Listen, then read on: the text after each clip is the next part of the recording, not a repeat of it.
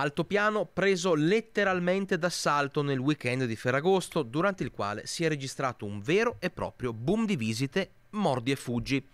Anche se, rispetto al trend che ultimamente ha visto turisti e sportivi svuotare le località preferite già nel primo pomeriggio, stavolta chi ha fatto visita in altopiano è rimasto lì fino a tarda serata, complici anche le temperature roventi in bassa quota. Sono moltissimi i turisti, gli ospiti che sono saliti ad Asiago nell'altopiano di sette comuni per il weekend di Ferragosto.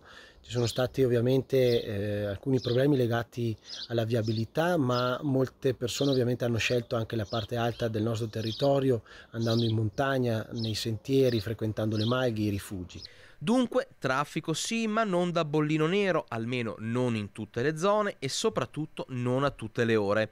Dalla tarda mattinata le strade sono state più percorribili e restando in tema di confusione, il Green Pass da esibire per pranzare al chiuso è stato gestito senza grossi intoppi.